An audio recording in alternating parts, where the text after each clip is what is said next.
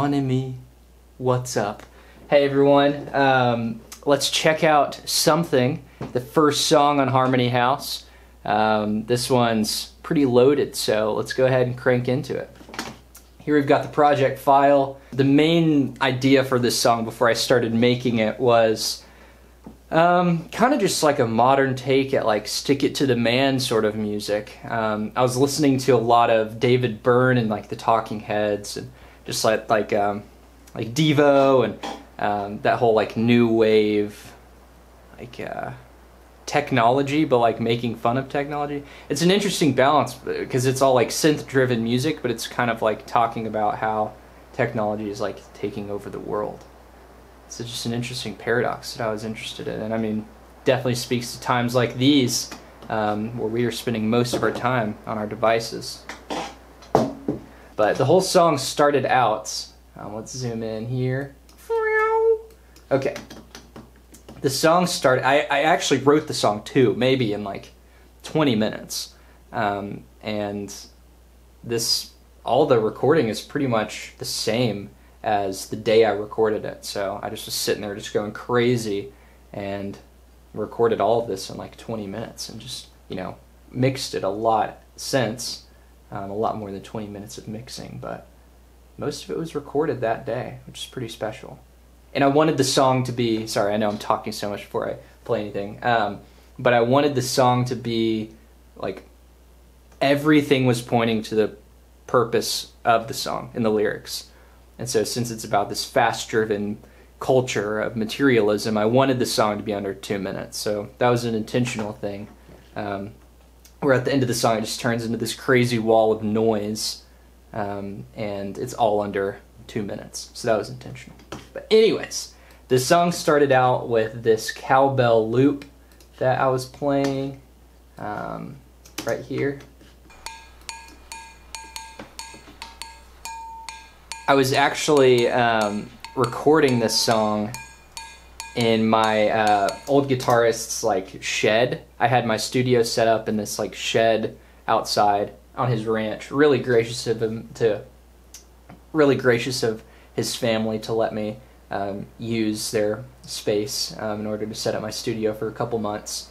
Um, but in this recording, it's terribly, um, you know, isolated because there's an air conditioner like right behind the microphone, and I didn't think this would make the cut. And it kind of makes it more fun, but I mean that's a really noisy recording. Um, but also, who freaking cares? Uh, rock and roll is here to stay. Yeah, so I did that, and then just this drum loop. Uh. Oh, where'd the cowbell go? Okay, there we are. Yeah, and it kind of has this like just drive, constant like it doesn't have a start or an end. It's just this groove that you like live inside of. Um, just the claps on the, you know, the downbeats, and it just keeps going. It feels very, uh, I don't know, I don't even know how to describe it, but very driven. And so essentially throughout the song, it just layers more and more. Um, nothing musically really changes. Um, you know, it's a verse, chorus, hook, verse, chorus, hook, noise, done. Um, but the chords or anything don't change. It's actually just more things being built on top of each other. So um, there's lots of other little layers. Like here we have a shaker just going. You know, you, you should always just add a shaker. It's just nice. A Mellotron sample that's like, you know, goes with the clap. Kind of feels like an alarm siren going on. Here's like a Mellotron violin. I'm just playing the root note, which is a C. Sounds like a tea kettle or something. Um, and I'm just playing with the pitch wheel just a little bit. And then at the end, rise it up. Just making you feel anxious. And then I have this crazy noise loop um, that happens on a Korg MS-20 that I have right there. Um, and I just turned up the uh, filters all the way and we're just playing with the resonance sweeps and stuff. So it sounds like this.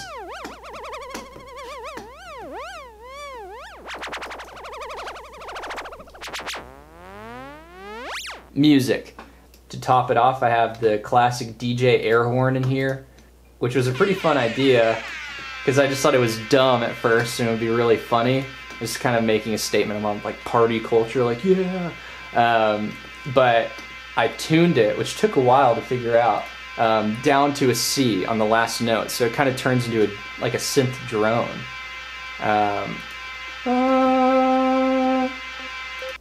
so it like nothing, you that takes the time. Yeah. Um, which I can't remember if that was an accident or not, at least at first. Um, but um, I don't know if people tune their DJ DJ air horn sound effects, um, but I just freaking did.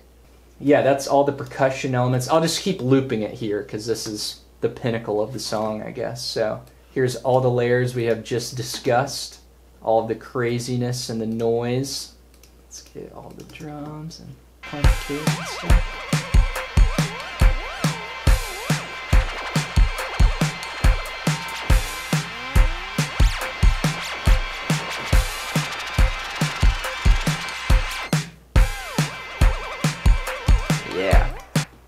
Awesome. Okay, so now more musical things. The guitar just like adds this percussive like build up kind of thing.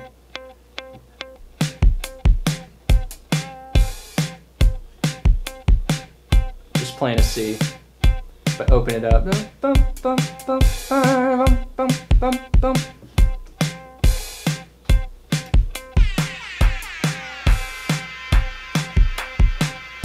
Nice. Um, and then we have the bass sound, which is really fun. Uh, this is a hard thing to uh, finalize. So we've got. Just it's super like PC music almost. It's like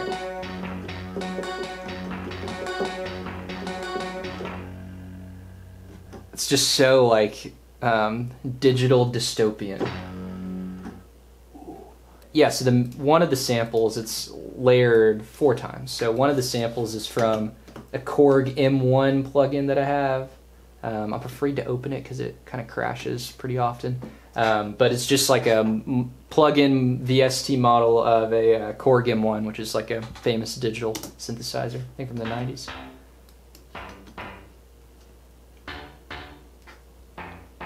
I just love those cheesy like vocal um, construction bass sounds is what I think of. Um, of like, I don't know, like in those digital synths. Um, I have a a D50 up there, which is you know a lot of sounds like that, but nothing that I could find. So I had to use a plugin. Um, then second, it's layered with another M1 sample or a patch. You know, super similar, but just adds more grit and dirt to it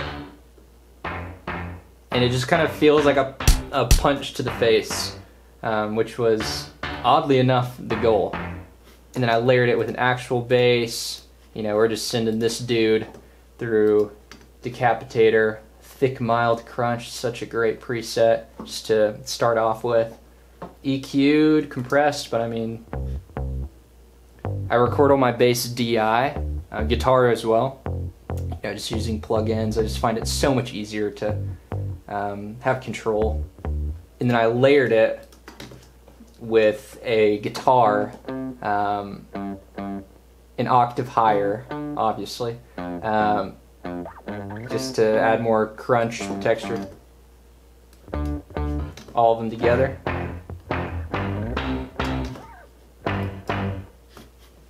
Yeah.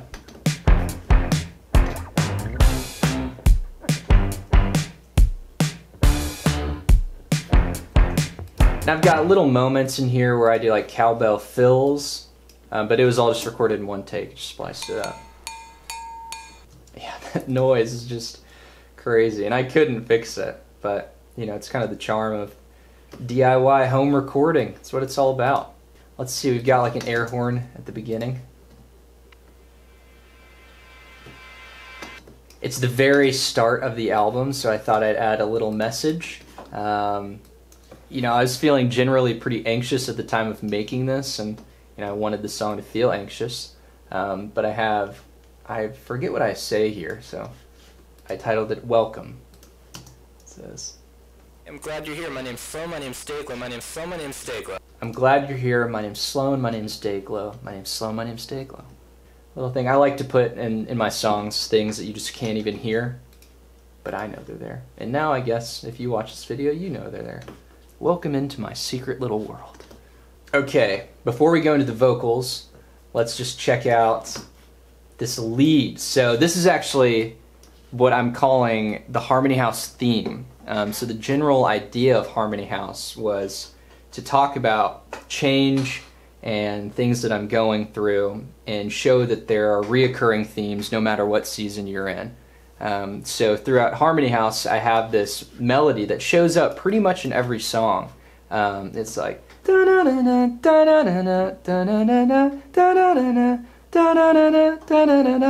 so it's kind of like a TV theme song or something um, that shows up in a bunch of different ways. But obviously, first song of the record is where it shows up. But this is the first time that I actually uh, wrote it. So originally, it just existed in this one song, um, but you know now it's in pretty much all of them. But it just introduces the melody.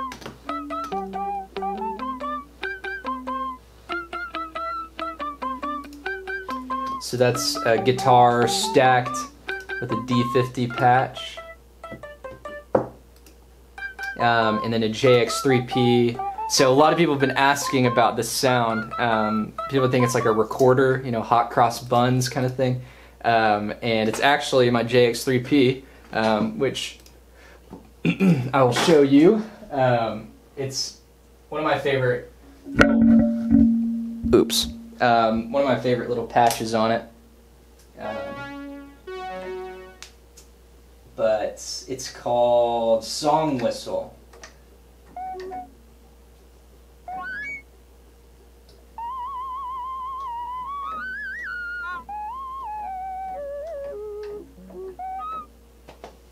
Anyways, um, just super fun, quirky little sound.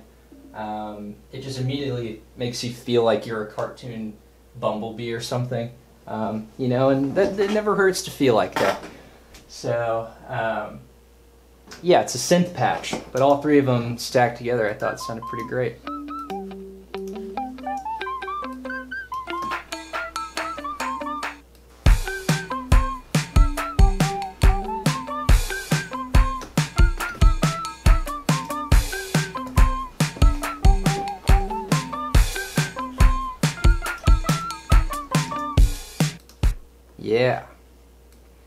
Just kind of this, got this drive, like opening sequence type sound to it, which was definitely I was going for.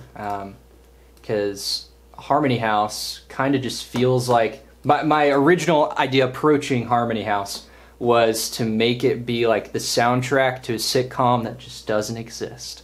And, um, you know, I was feeling kind of like I was on stage and I was like being watched. That's like the ironic thing about sitcoms, they're just supposed to be like normal lives, and we like compare our lives to those. And I kind of felt like that's what was starting to happen to me, is I was just like living just my normal life, but somehow it's like interesting now to other people. Um, yeah, it goes beyond making music, which I never really understood. Um, but it's crazy, yeah. So Harmony House is kind of just like the idea of a sitcom that doesn't exist, a whole entire soundtrack.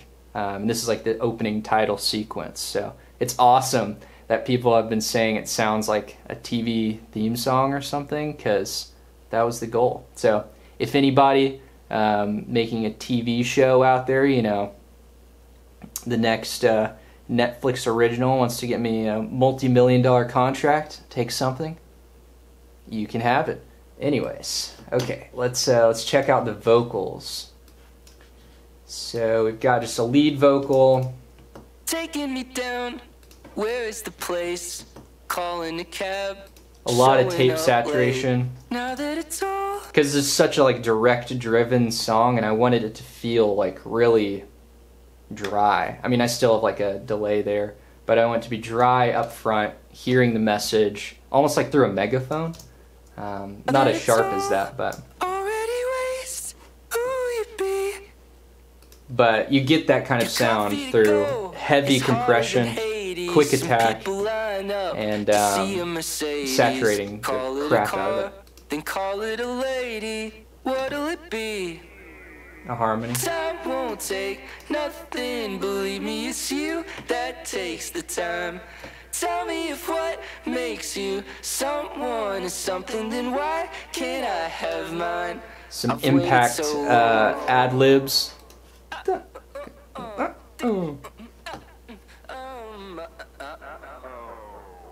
Which was me just kind of like jamming the day I was recording it, and um, it stayed.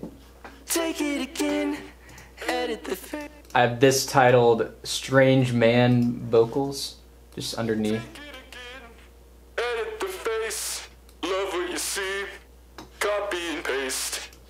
Isn't it magic? Don't you wanna have it? Just making it feel more, you know, Talking Heads, Thomas Dolby kind of deal. Compile the content. You're filming a mosh pit. You ship it and box right to your doorstep. Ain't it a Father Amazon speaking. going under, but everyone's high. Yeah, yeah, I got Jeff Bezos in the studio. Okay, so lyrics keep going. Oh yeah, there's a group vocal shout here. That's mine. I love group vocals. Um, let's see what we've gotten here. I think it's just me stacked a bunch of times, and there's one of my friend Peyton, um, which I can hear the most. This is Peyton's. That's mine. That's mine. That's mine. kind of like a British inflection there or something. Um. Yeah, I just wanted to do like silly voices, just That's them. Oh, there's one of my mom. I forgot about that. Here's my mom's. that's mine. Kind of a whisper shout. That's good. That's mine. That's great. That's her. That's her favorite lyric of the song. Usually she'll kind of skip around the others, and then that's mine. She gets, you know. So had to put her in the recording. That's mine. That's mine. That's a crazy falsetto. But anyways, all together, That's mine. beautiful That's choir. mine. Okay. Yeah, the outro vocals. Pretty cool thing happens. So on the lead vocal, take the tape delay. Just start twisting it.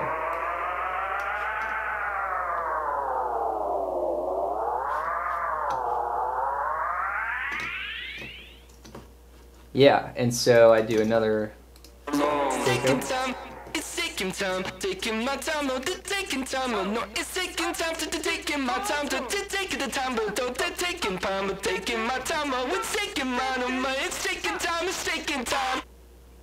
Um, yeah, just trying to make it feel just very like once in a lifetime. The Talking Heads video where he's just sweating and there's just like crazy energy was what I was going for. And you know, had to end the song with a ah, as one does. Um, but yeah, that's all the tracks we've got. So we can take a listen through of the outro.